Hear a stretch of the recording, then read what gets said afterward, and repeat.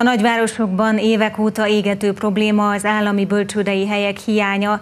Marosvásárhelyen is több gyereket visszautasítottak, mivel az eredeti beiskolázási tervhez képest sokkal kisebb létszámú csoportokat engedélyezett az Oktatási Minisztérium.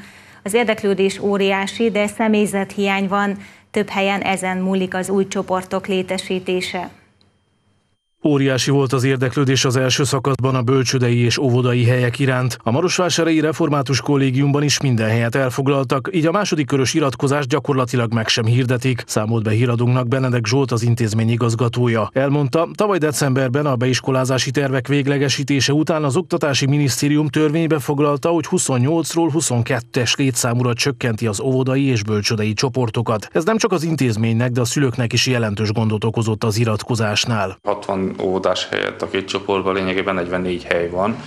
Így is egy kicsit megpróbáltunk segíteni a szülőkön, mert adnak törvény azért a testvéreket védi, és azok a kisdiákok, akik testvéreik már vannak az intézményben, azokat felvettük, úgyhogy így is 25 fős csoportok lesznek 22 helyett az óvodában.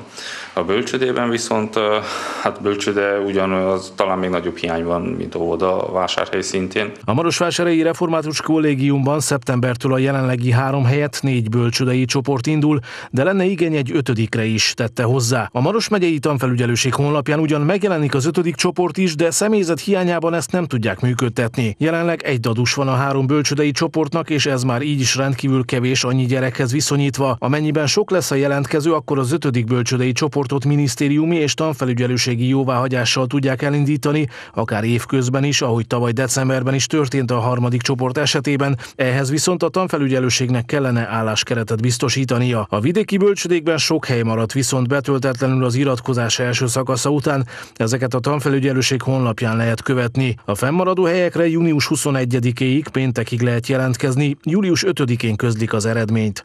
Ezek után augusztus 19-e és 29-e között lesz még egy kiegészítő iratkozási szakasz.